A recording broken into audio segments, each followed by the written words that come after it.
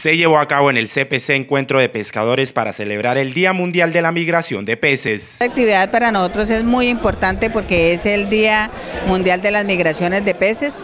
Es un evento de, carácter eh, mundial, como su nombre lo dice, y estamos acá reunidos una serie de instituciones, entidades y ONGs encabezadas en el municipio por Cor Magdalena y apoyada al 100% por la administración municipal en cabeza de Lumata de Barranca Bermeja, con el propósito de escuchar a los líderes de los pescadores artesanales que hacen parte de la cuenca magdalénica. Hablamos de el Bajo, el Medio y el Alto Magdalena, que nos hemos reunido acá junto con entidades del nivel municipal, departamental, nacional y ONGs de carácter mundial para unificar criterios, construir conocimiento y poder concertar un plan de acción en pro del proceso de fortalecimiento de la pesca artesanal. Por otro lado, Marta Gualdrón, asesora ambiental de Cor Magdalena, destacó este tipo de espacios que buscan un acercamiento entre pescadores y técnicos quienes trabajan sobre este tema.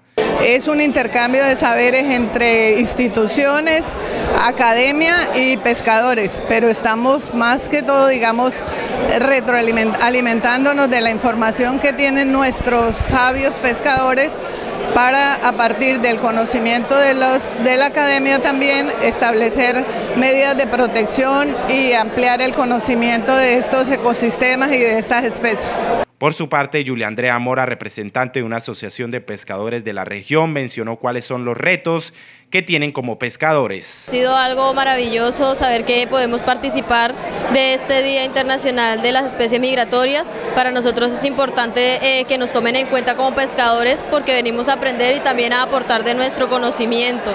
Y pues más con la problemática que tenemos ahorita en el río Sogamoso, con todo lo que se nos presenta, eh, hacer una voz más, una pauta más, donde sabemos que seguimos pendientes, seguimos atentos, seguimos aprendiendo para saber de qué manera poder seguir desarrollando nuestro río Sogamoso. Este encuentro se realizó con más de 100 pescadores de todo el país.